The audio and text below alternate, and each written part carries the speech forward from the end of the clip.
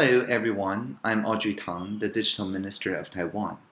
I'd like to thank the American Chamber of Commerce in Taipei for giving me this opportunity to share some ideas on cybersecurity with you. As all of us are well aware, Taiwan's public sector and corporations are the hottest targets of cyber attack, some of them supported by state-level actors. There is no doubt that cybersecurity has become one of the most urgent challenges that we have to deal with. And I believe the following speeches given by our Cybersecurity Director General, Howard Jian Hongwei, and Deputy Director Wu Fumei from the Investigation Bureau would bring you a clear picture on how we should enhance infrastructure and introduce policies to address cyber attack and cybercrime.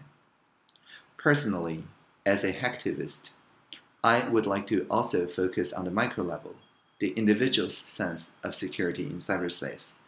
To me, this kind of citizen cybersecurity is equally important to that of public sector and private sector security. This is because the fundamental value and potentials of the internet are based on people's confidence and trust in the security of the whole infrastructure.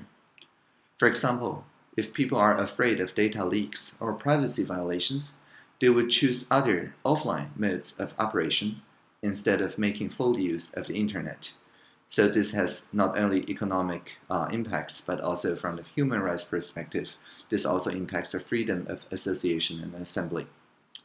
Um, there's one interesting anecdote I would like to share with you. About a month ago, many retired public servants has launched a protest in Taipei to express their thoughts on the ongoing process of pension reform. And before the protest, a rumor has circulated widely on the popular media that the protesters must turn off their GPS tracking system in their cell phones because the newly appointed minister, Audrey Tang, is an expert of big data, and the rumor has it that I will somehow track down all the protesters through the satellite system and find out who they are. Of course, it's not true. I would never do such a thing. I'm not a white rose kind of hacker. I'm more of a Aaron Swartz kind of hacker. But However, the existence and the spreading of this rumor does show that there is a healthy room for dialogue um, of the whole society of what role the various data operators has, uh, and I look forward to engage in such dialogues to reduce the mistrust of the internet and increase the awareness of individuals' uh, sense of cybersecurity. In this June, uh, the United Nations Human Rights Council once again called up all the states and to address security concerns to ensure protection of freedom of expression, association, privacy, and other human rights, so that the internet can continue to be a vibrant force that generates economic, social, and cultural development. And following the uh, UN declaration, I think it is essential that we work toward mitigating cyber attack on our critical infrastructures and prevent cyber crimes that targets government institutions, corporations, and various individuals.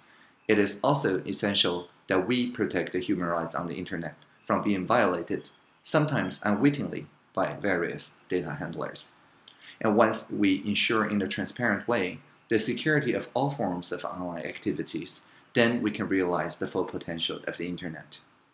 In the future, I will keep paying attention on online human rights, digital education, digital inclusion, and other relevant issues to bridge many forms of digital divides. And furthermore, I will also participate in the decision-making process on digital economic policies through multi-stakeholder uh, forums, you know, forums such as this one. So enjoy the forum, and I look forward to um, having more interactions and collaborations with you in the future. Thank you very much.